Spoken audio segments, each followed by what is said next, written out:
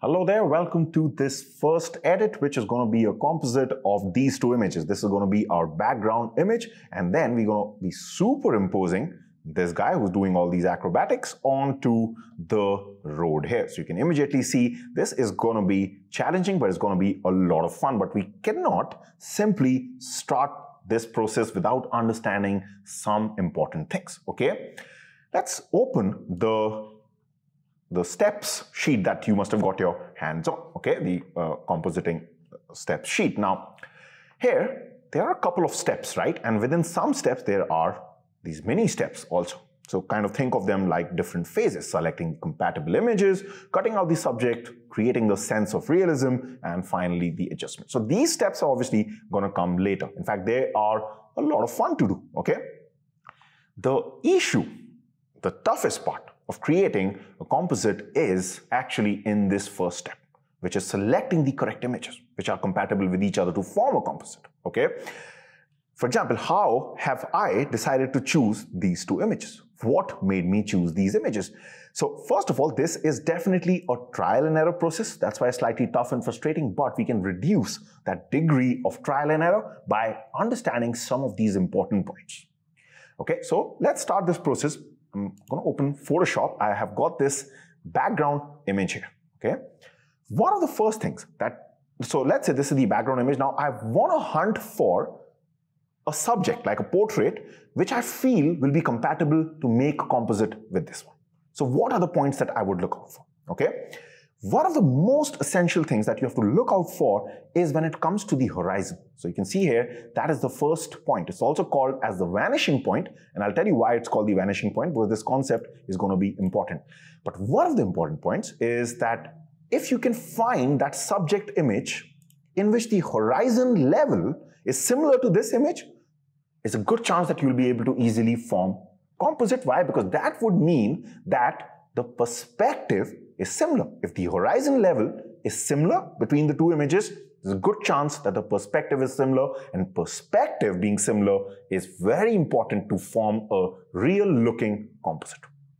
Okay, so let's actually see this action now. For example, in this image, you can clearly see where the horizon is. So some images, you don't have to do any work to find out the horizon. Your eyes are enough. Wherever the sea ends here is the horizon, right? But what about the subject image that we will see? So let's look at a couple of different subject images, okay? Let's see, first of all, uh, this particular image. Now, I've made a selection here, so you can't see the background. So I'm just going to disable this mask. I'll talk about selections later on. Okay, it's not too important right now. I'm just going to disable this layer mask so you we get rid of the selection temporarily. You can actually see the surroundings of this particular image. Now, the question is, can I use this girl and transfer her hair and make a real looking composite? Let's find out. So, remember the first point, we are still on the first point, horizon vanishing point. but they're the same thing, okay? Just different names. So, how can we find where the horizon is so that we can kind of come to know, you know, is it similar to this if we were to then, because when you put this sub, okay, when you put this subject here, we will have to put it in such a way that both the horizons match each other, okay? They are on top of each other, they're superimposed. So, in this, can you see the horizon? That is the question. The answer is no. Then how do you find out where the horizon is in these cases? Now, usually, okay, one of the golden rules to find out horizon when you cannot see it is it's usually at the eye level when you shoot someone. Okay? Now the problem here and why we can't say that we can simply use our eye level and say this is the horizon because can you see this is the eye level does this feel like the horizon? Not at all. This is the sky right? Then where is the horizon? Why can't we use the eye level here? Because if you notice this shot hasn't these this been clicked from a down to up angle? Almost feels like the photographer was crouching when they took the shot. So this is not a normal eye level shot. So we cannot use that eye method. The horizon is not going to be on this line. So where is the horizon? This is where the concept of the vanishing point comes into play. Because what happens is that if you have any lines which are parallel to each other, also called as leading lines in photography, you must have heard that term uh, very often. It's a very common way to even compose shots, leading lines shots. If we take and extend these two leading lines, which were supposed to be parallel in real life, they actually converge at the end exactly where the vanishing point is, exactly where the horizon is. Okay, so what I'm trying to say here is let me just do one thing. Let me take the crop tool here. Let me extend the canvas of this image. Okay, and now we just have to find out two parallel lines here. So can you see this? Let's say, let's assume this is some sort of a frame of a window. This is most likely to be parallel in real life, but can you see it kind of appears to be converging? So that's how we see things, okay? So if I was to take, let's say this line tool here, okay? So I take this line tool and I just draw a line like this, okay? And it doesn't have to be too accurate, okay? You're just gonna guess where the horizon is with this technique. So let's say I make something like this, I hit enter, it's gonna turn this into a black line and we can't see the line right now because the width of the line, you can see the settings of the line on top is set to one pixel, we can always increase that, okay? Let's create one more line. So I'm going to hit any of these options so that it gets rid of the line option. And now we're going to again open the line. This time let's take maybe this one. Okay. And now let's draw this. So something like this again doesn't have to be too accurate but something like this I hit enter again okay so oops, yeah. so now you can see this point where these two lines are intersecting somewhere around this. I'm not saying exactly here because we might have slightly gone wrong here, okay?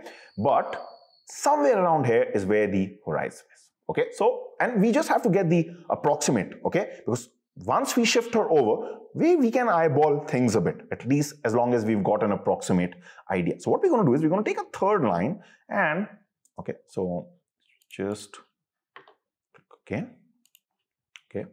We're going to take a third line and I'm just going to, I can actually even use the ruler tool in Photoshop. I'm not going to do that all that right now because right now it's just, we're understanding things, okay? So let's say I do something like this and hit enter. Somewhere, so you can see, somewhere around her knee is where actually the horizon of this particular shot is. So just remember that, okay? We don't have to worry too much about these lines. I'm just going to hide these lines. What I'm going to do right now is I'm going to enable that selection again, which I have made already, enable layer mask. Like I said, don't worry about these selections. Also, I'm just going to get rid of this whole cropping thing that we did. And we're back to our original selection. What we're going to do right now is we're going to take this over to this particular image. Okay. Now, first of all, of course, this is too big. I'm just going to slightly zoom out. I'm going to hit Control or Command plus T. That is going to bring these transform tools here. Okay. Now, remember what we have to do? We have to match the horizon of both the images, right? Let's try to do that. So remember, her horizon was somewhere around the knee. Okay, so let's try to do that. Let's try to scale her down a bit and something like this. Can you see she does, because we're following that horizon strategy, she does, it kind of feels like yeah, she is standing there, but everything else looks very unreal. That's because the perspective between both the shots was just too different to be following the strategy. If the horizon levels are too different, okay, this strategy is still not going to work. Okay, because that shot has been clicked from a down to top angle, and this just feels like a normal shot that someone has clicked, you know, just standing, or maybe just at a tripod near the eye level. Okay, so you can see kind of looks okay, but it just looks off when it comes to the realism part of it. So if you look at the next point here, okay, you can see here angle of the shot. These two points are actually kind of, they're talking about the same thing. I can actually put them together. They are the same points. That if the angle of the shot is too different, the horizon or the vanishing point is not, even if you match them, it's not going to work in your favor. So one of the first things that you have to look for it, that the horizon levels are as similar in the area, in the frame, as possible which was not the case here. Here it was very down, here it was very up, which is again basically happened because of the angle of the shot being different. Okay, so this is one of the things you have to look out for. Fine, now let's get rid of this image. Let me quickly also show you another image like this. For example, if this was our environmental image, sometimes you can't see the horizon there also, right? But now can you guess where the horizon is in this case?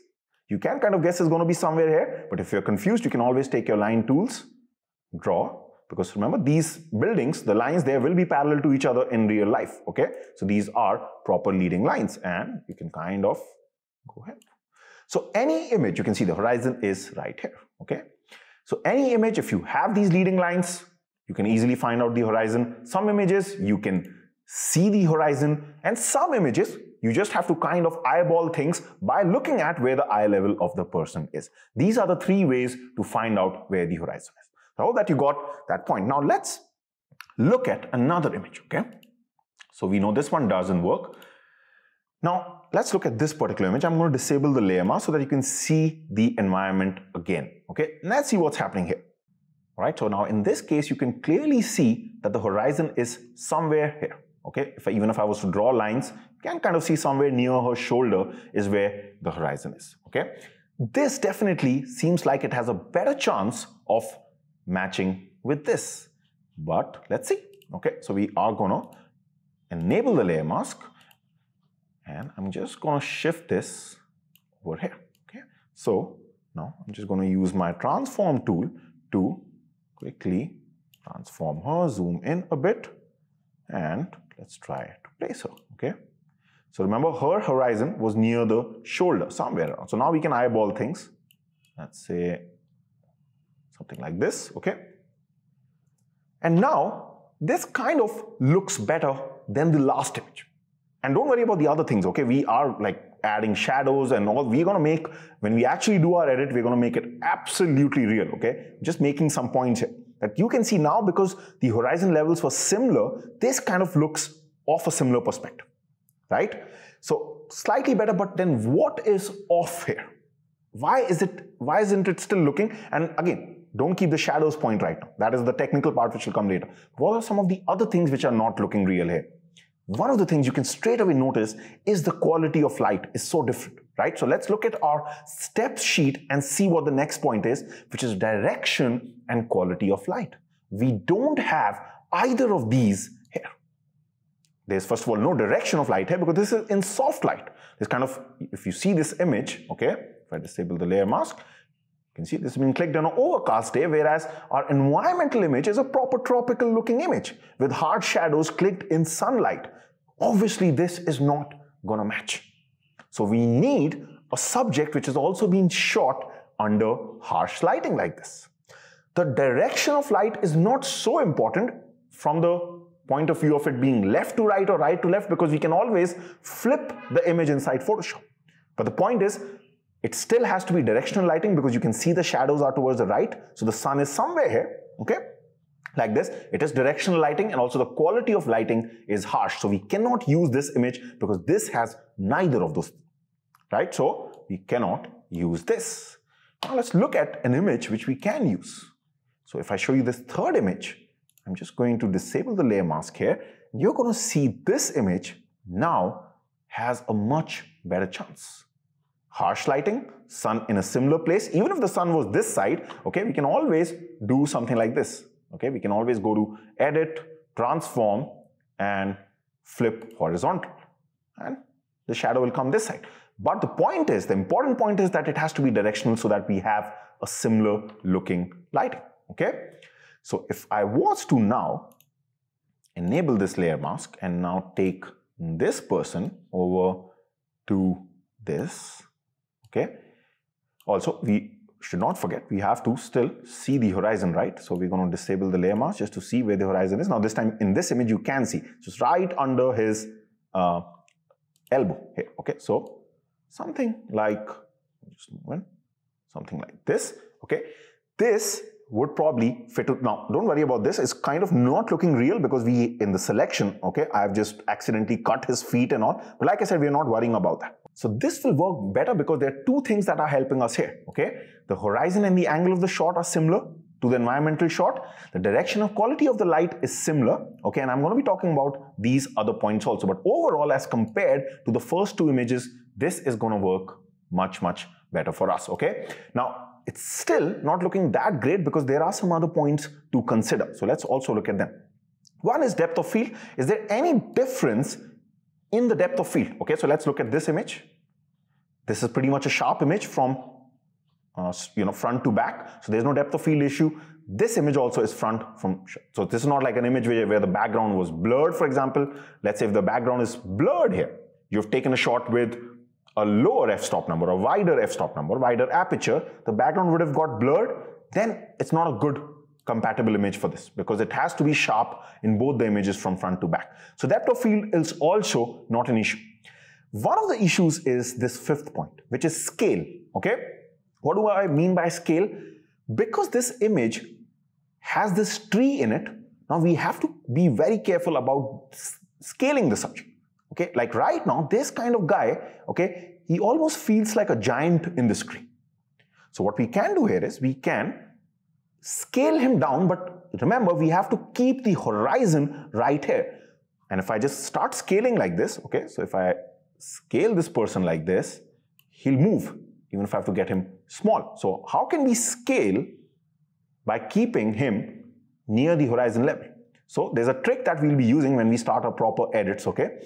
Do you see this point here? So whenever you use Control T, Command T, you get this reference point in between. Okay, if you're not seeing this, this is, you can, okay, let me just get rid of this. You can always go to Preferences, you can go to Tools, okay, and here under Tools, just make sure this option is selected, Show Reference Point when using the Transform tool, okay. So just check this. So I've already checked it here. So if I hit Control T or Command T again, now I can tell Photoshop, I want to scale this person, but I want to scale him in such a way that he stays fixed to this horizon. It should always be near his elbow because that's where the original horizon is. So what I can do is I can just place this point somewhere on the horizon here.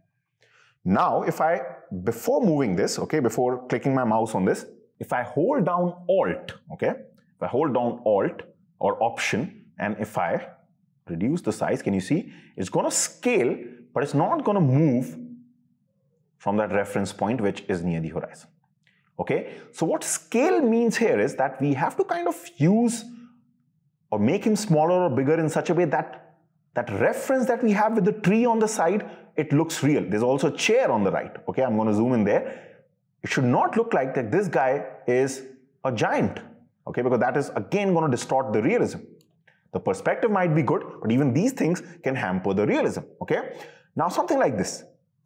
Okay, now if I zoom in, you see this kind of starts to now look like a real composite. Of course, there's the lighting is off, the luminance values are off. All that is handled in phase three or step three. That is a different part. Here we are just searching for the compatible image. Can you see now this starts to look kind of real? In fact, to be frank, if you now compare it to the chair, he still looks slightly off because this, can you imagine such a big guy sitting on this chair? No. So we probably have to again slightly hold down alt option and decrease further. But the problem now, what is happening is he's moving away and away from the scene in order to. You see, now it looks really real, right? But what's the point of creating such a composite when our subject has gone so far away from the scene?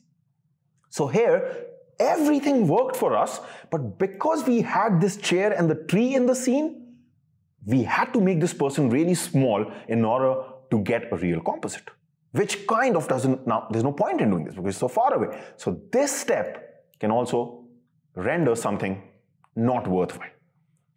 Okay? Uh, so just giving you some examples that what all you have to think of, you know, when you do things. Uh, also, this last point, which is not right now, too important. Do these two images make sense? You have to ask yourself that, okay? So for example, what I'm trying to say here is, do these two images make sense? Absolutely yes in this case. Why? Because this person was originally on a beach, right? And this environmental image is also of the beach. So the last point is absolutely perfect because what happens is when someone sees this, okay, one of the things by which your image can feel off is because of technical reasons, which we've discussed before, but also because of logical reasons. That if we had, let's say, a person in a tuxedo here, right? That wouldn't make any sense. And that can also create doubts of mind in a viewer who doesn't know it's a composite. And then they can start looking out for other wrong things, okay? So this point, right now, from a course point of view is not important. That's why I've written not required as a beginner. As a beginner, till the time you're getting used to this process, don't worry about this point. You can even put the tuxedo person there because you're learning how to do this technically. Once you get good with this process, of course, this is some a point that should come in your mind, okay? But you can see, right? It's not such a straightforward process. But overall, this looks fine now. And if we were actually editing this image and we don't mind the scale, this would be perfect to go on to the remaining steps. Okay, so that is the process that you use. Again, I'll be we'll be going through this process again when we edit more images. There also I'll show you a lot of different variations as to why I didn't choose something, why I did choose something. Having said that, now that at least you have some idea for it, we are going to start the process because we are going to be using these two images and now you can kind of get an idea why I chose these images. So let's quickly discuss about that also. Harsh lighting, you can see harsh shadows here, directional lighting. Let's look at the subject image. Harsh lighting, directional light, okay? Then you can kind of see uh, the horizon will be like somewhere here, okay, just down below here. If you see the horizon, it's pretty much at the similar level. So the angle of shot is kind of eye level. So there's not too from the top, not too much from the down. So this is going to work from there also. What are some other points? Uh, so you can see these first three points are good. Depth of field, both are sharp. Okay, this one, the second image, might be just slightly blurred on the back here, just like you, you can see here, where this person is, not this, but this person. Yeah, it kind of blurs out till here. So yeah, that point maybe we'll think about, but I don't think it's going to make too much of a difference. The depth of field really matters when the blur behind is too much. Okay, then it can slightly affect, but this is not going to be too much of a problem. So this point also is good. Uh, what about the scale? The scale, so I've already tried this, okay, the scale looks perfect and I'm, before I start this next edit in the next video, okay, the only sometimes the only way to find out if the scale is not an issue is to actually just quickly without even sometimes making the selection quickly place the image on in photoshop uh, by reducing the opacity of the top layer just to kind of get an idea whether things are working for you or not. I'm going to be showing you that in the next video so that you quickly get an idea whether the scale is going to be an issue or not. Uh, in this case i'm not really paying attention to does it make sense okay? Because a uh, person doing all these acrobatics wearing this would such a person be here Maybe, may not be, but we're not paying attention to that right now. In the next video, we're going to start the whole process of creating this composite. So I'll see you there. Bye for now. All right, so let's get started with our first composite edit, which, as I showed you before, is this image and this image. I'm sure by now you already know how to get your hands on these images.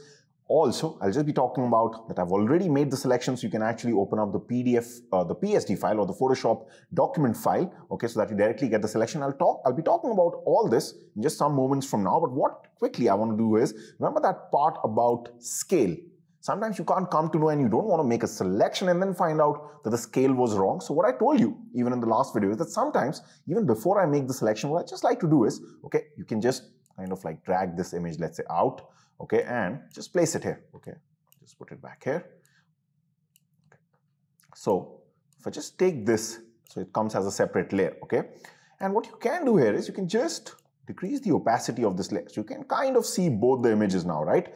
And this will just give you a fair idea. For example, if I just zoom out and I use Control T, Command T, transform tool to just kind of see, okay, will it look okay? Because you can see both, right? So you'll be able to make out, okay, if this person is doing this, yeah, from the scale point of view, I think we have no problem, right? You can even see, and this is kind of even a good practice to even just to see whether the perspective looks good. You can clearly see here that he looks absolutely fantastic on the road here. So this is going to really work in our favor. And then what you can do is, yeah, once you kind of know that the scale works, the perspective works, you can now, with peace of mind, work on the selection. Now, talking about the selection, okay?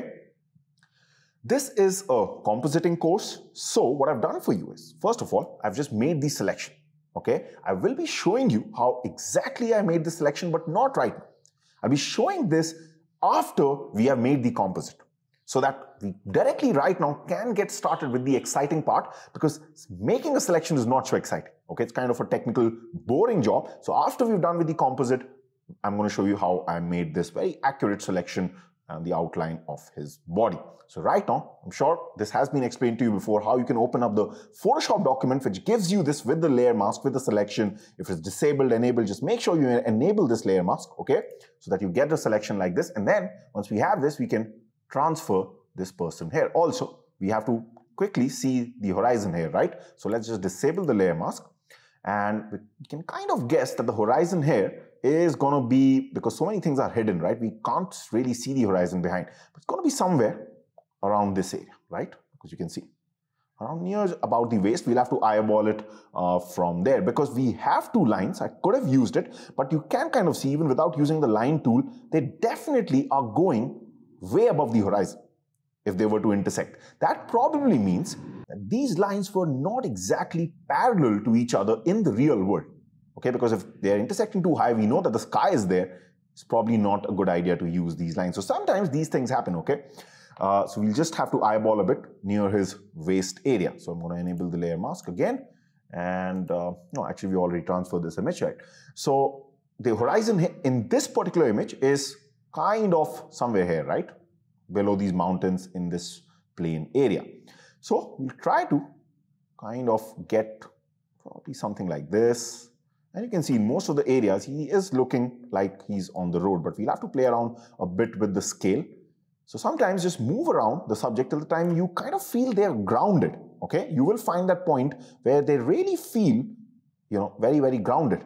Okay, so eh, it kind of looks, to be frank, something like this looks good. We can scale this. Okay, since we don't know exactly where both the horizons were, we can't really use that reference point technique here. So we can just scale normally and try to eyeball things till the time we kind of get something which looks decent. Okay, you're never going to get it exactly unless and until both the horizons were being seen. But something like this, right? You can see immediately now it feels like, yeah, he is on the road. Okay. Also, before I get started with the other uh, steps in the process, just want to actually show you the final result that we are going for. Okay, so we're going for something like this.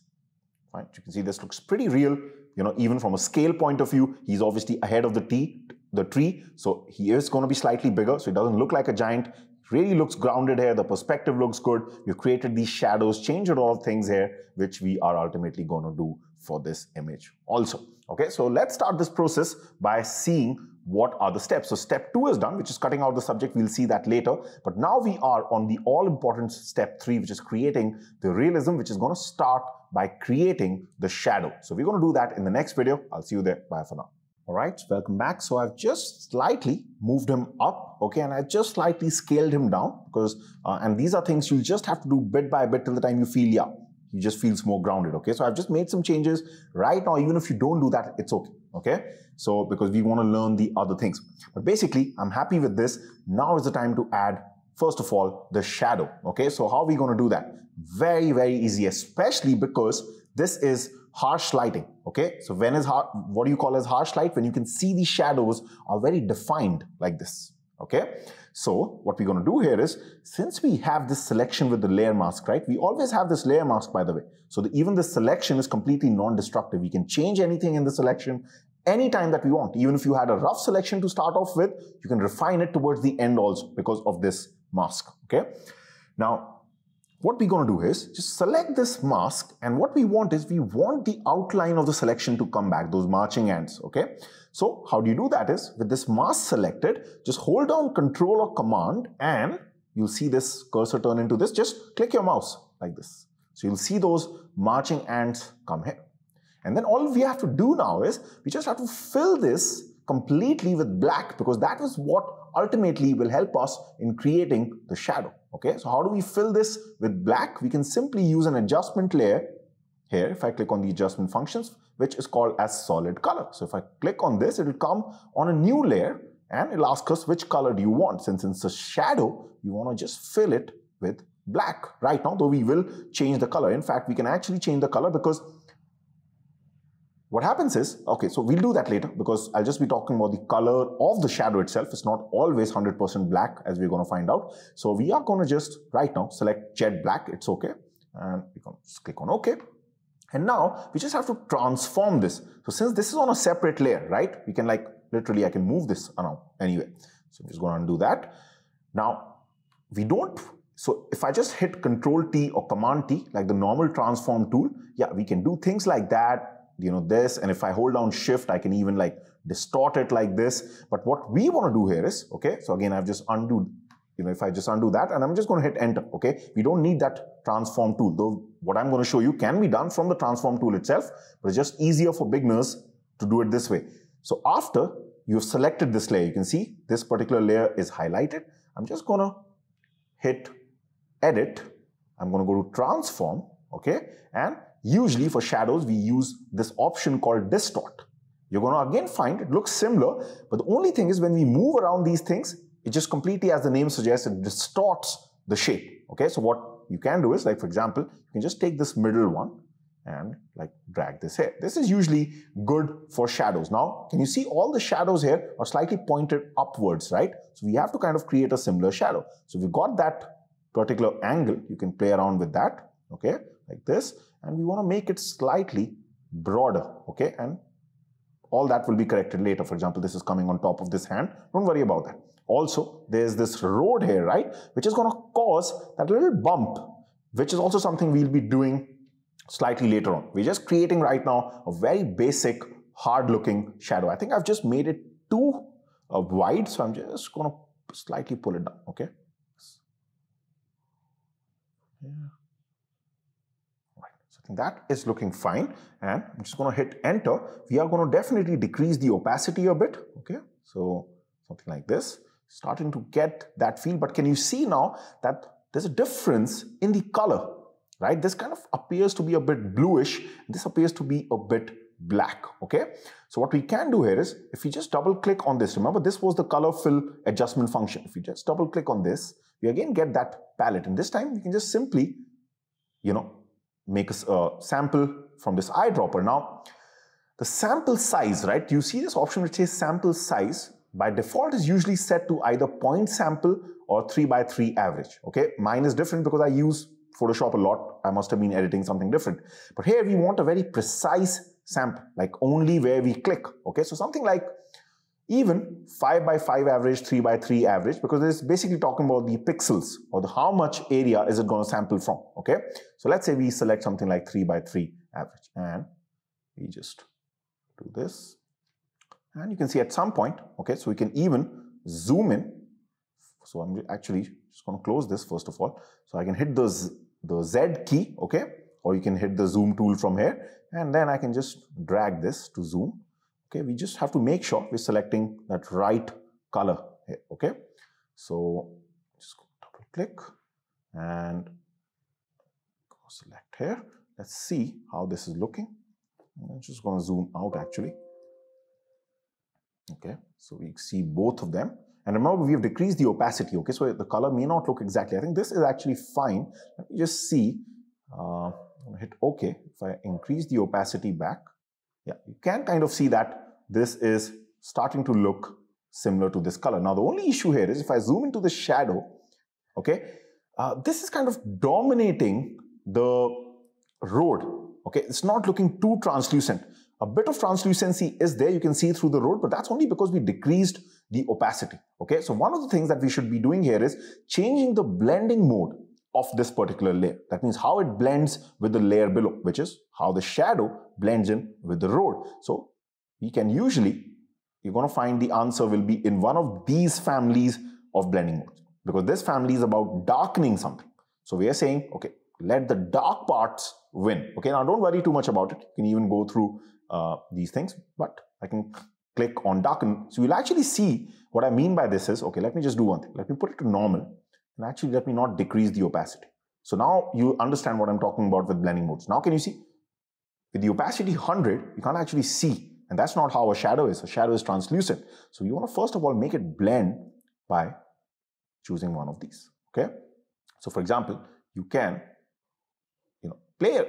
This is kind of trial error. You can go through actually, to be frank, most of the uh, blending modes here. Okay. But we don't also want to lose the color, right? So kind of darken works better because you can start to see the texture. And now if you decrease the opacity, yeah, you can really start to see the road behind. Okay. So I'm going to zoom out. And now the only issue is that we're facing is that it's not as dark as this particular shadow, right? Because we've had to decrease the opacity and all. So what we can do is we can also slightly darken this by opening up a brightness contrast function. Okay, and if I move these two sliders, can you see?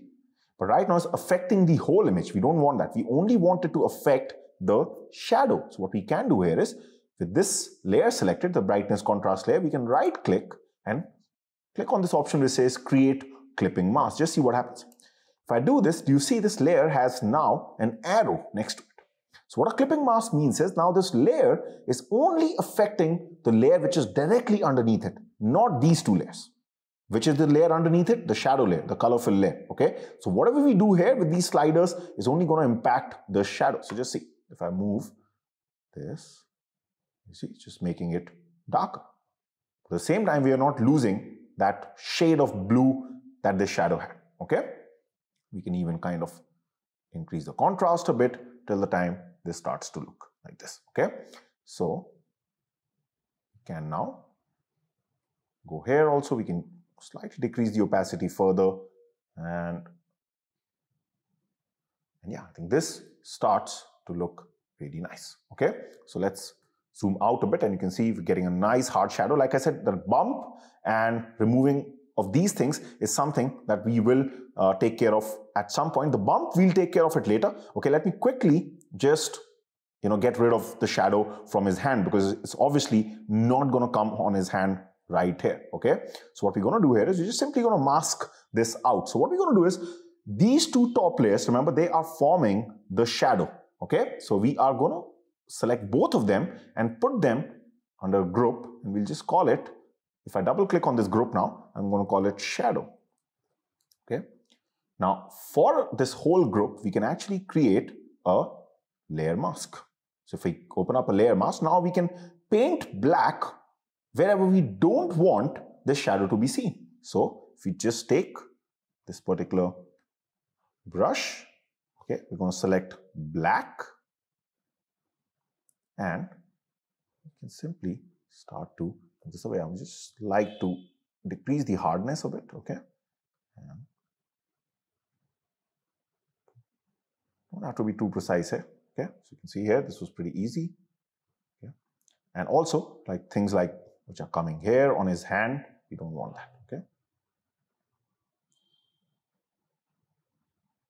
All right, so now if you look at it, you can see that this shadow starts to look really, really nice, okay? So we'll take care of that part towards the end because we also have, if I show you the step sheet, uh, this final adjustment step has this step called checking everything. So these small things, sometimes I just like to leave it towards the end, and especially for this course, because I want to quickly show you the other steps also.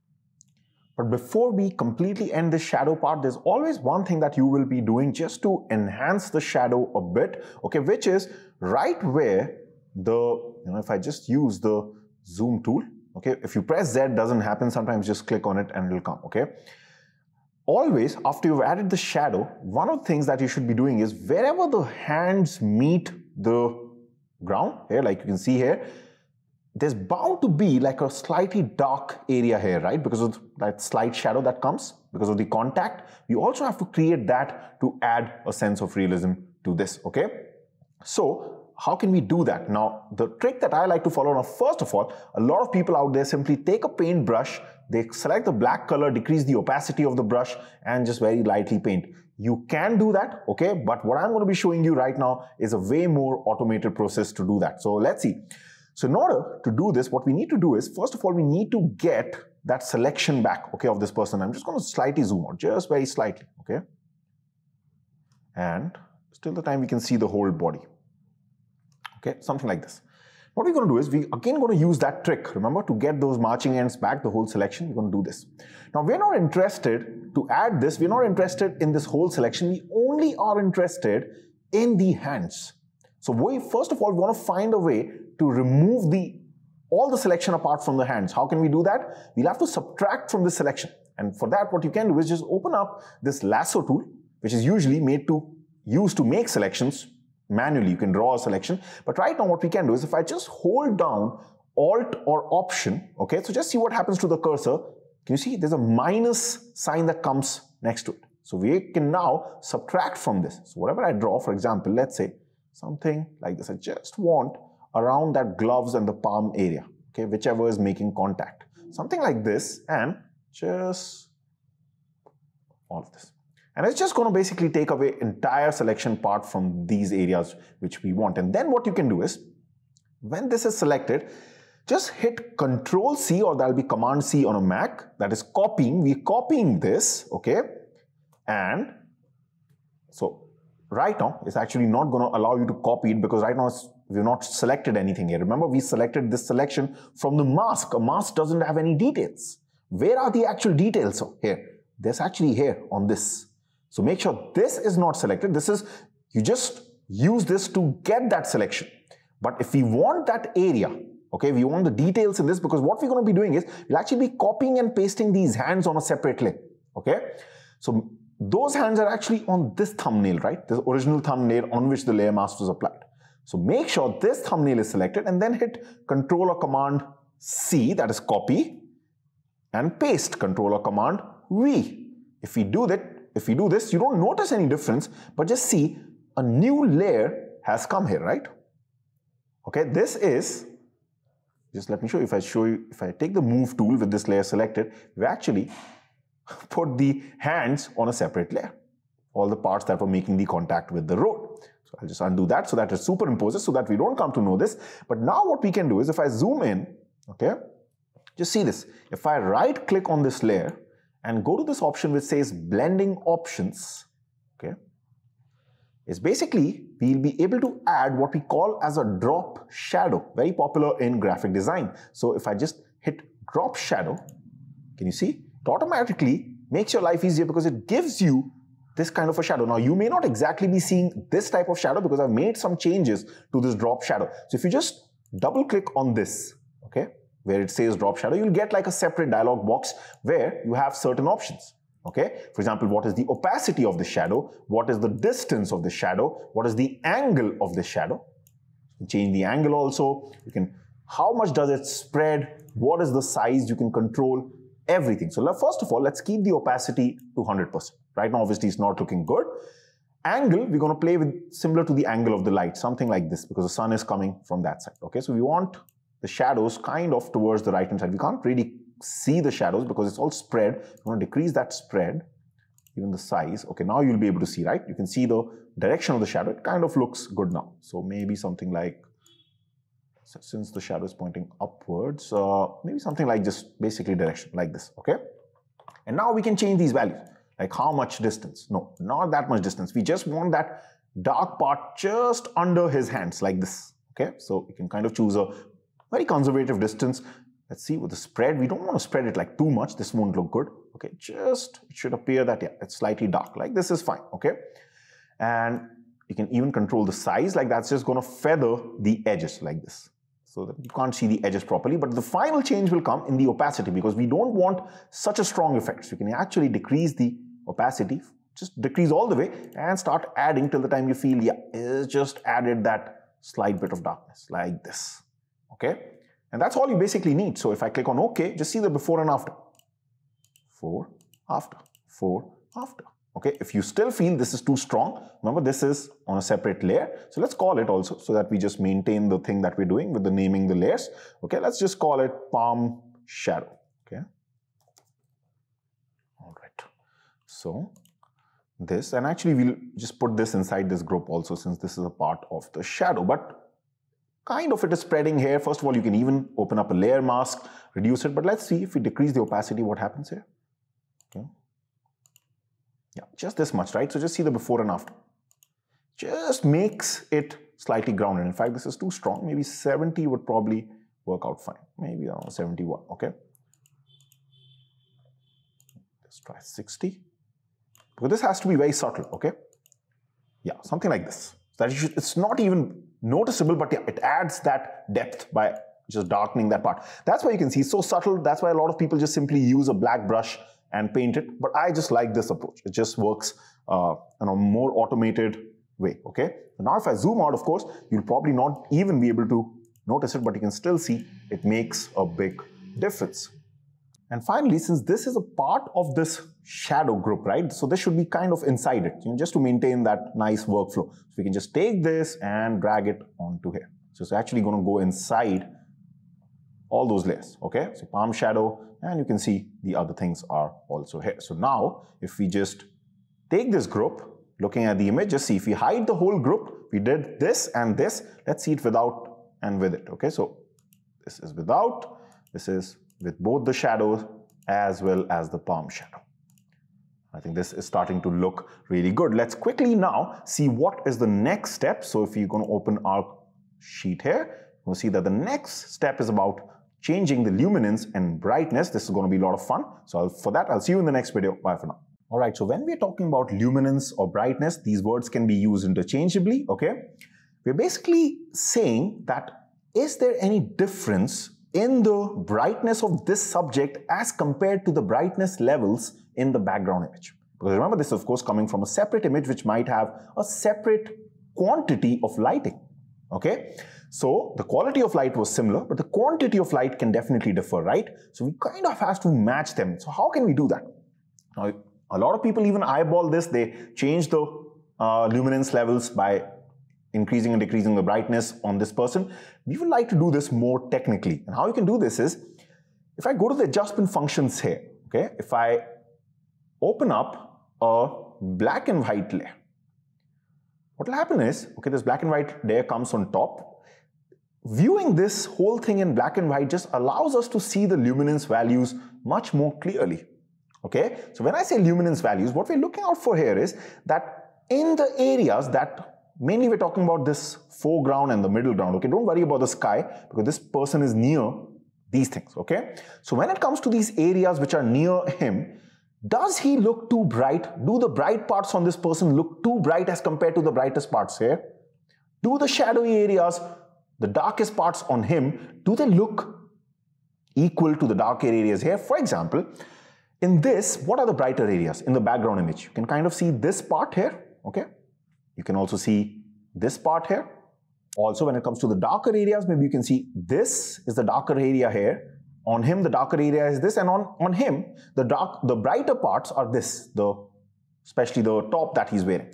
So, brightest parts, brightest parts. Darkest parts, darkest parts. What do you notice?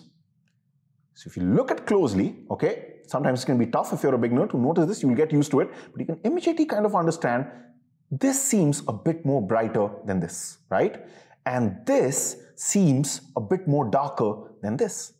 So what we have to do is, we basically have to turn down the highlights a bit. Highlights are the brightest parts in an image. On this person, just have to slightly take them down. And do the opposite on the shadows. You just have to raise the shadows a bit so that it's not so dark. Then it's going to kind of match the luminance values of the background. Okay, so how can we do that? Now we leave this black and white layer on, but in order to do this change, we'll actually open up the ever reliable curves adjustment function, okay, on by going here. So if I open curves, now one important thing is, make sure this curves, you pull it all the way down and it's just above your selection layer, okay? Oops, I think I put it inside the group, so I'm going to undo that. So just put it right here, okay? And even put it underneath the shadow group. The reason for that is, first of all, when we'll do any changes, it will reflect in the black and white layer also because this black and white layer is on top now. So this will take into account whatever changes we make here and I'll talk about this also, what this means. But right now I'm making a different point, which is put the curves adjustment layer right on top. Also beneath the shadow layer, the group that we have. Why? Because we don't want anything that we do here to the luminance on the body to affect the shadow. The shadow is perfect as it is. Okay? So now that we opened up, a, opened up a curves function, a curves function looks like this. If you're seeing it for the first time, don't worry about it. It looks slightly you know, difficult to understand, but it's very easy. The right parts here, whatever you're seeing here, represent the brighter parts. The left part of this whole square thing that you're seeing represents the darker parts. If I was to, just see what happens, if I was to move this from the right part, if I just select this, can you see the luminance value of the whole image is going down? But it's mainly impacting the brighter parts of the image. So when I do this, I'm saying, okay, turn down the highlights. Why? Because the right parts are the highlights. I can also increase the highlights by going like this. So can you see those skies and everything is becoming too uh, bright? This side is the shadows. So if I want to raise the shadows or make them slightly more brighter, I can do this. If I want to darken them, I can do this. Okay? So this is how the curves function allows you to individually work on highlights or shadows and you can decrease them or increase them, which is exactly what we want to do here. Because we want to decrease the highlights, increase the shadows. But as you saw that when I was changing this, it was impacting the entire image, right? Now, you already know that. How can we do this in such a way that it only impacts this selection? or basically this person. So you know the answer, we can create a clipping mask. So you always don't have to right click and click on clipping mask because in certain adjustment functions, you already get this option. Can you see here? Just under this thing, curves function, you can see the curves adjustment function already gives us this option. If I directly click on this, it just creates a clipping mask. Same thing, what would have happened if I would have right clicked and click on create a clipping mask. Now whatever I do, just see, whatever I do is only going to impact that person, not the surroundings, okay? I'm going to undo that. Now let's start the process. So first of all, let's tune or turn down the highlights a bit on, especially on the top. You can see here, you want to match the luminance levels to something like this. So just have to slightly take this down. So these are the highlights. We're just going to bring them down. Keep an eye on the top, okay? So you see